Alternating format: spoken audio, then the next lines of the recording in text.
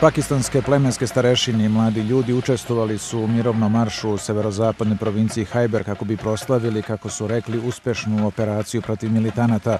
Učesnici marša su plesali pred Hajber kapijom na ulazu u Hajber klanac koji vodi ka Afganistanu.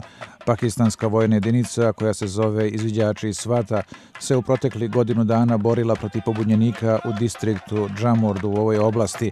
Domaće stanovništvo kaže da su nakon dužeg vremena u mogućnosti da žive u miru nakon perioda nesigurnosti.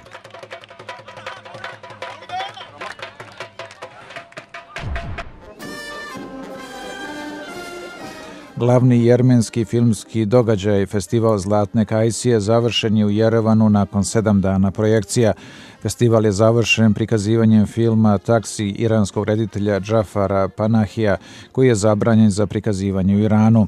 Panah je režirao film u kojem nepoznati putnici pričaju svoje sudbine vozaču taksija uprkos zabrane Iranskog suda za snimanje filmova na 20 godina.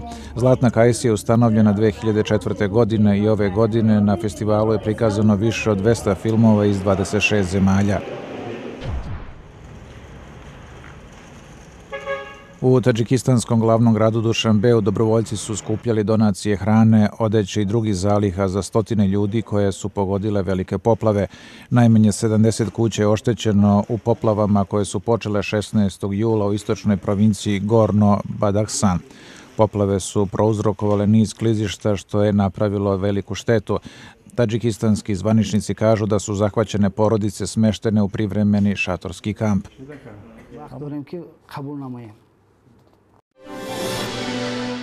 Bile su to video vesti iz RFI zemalja.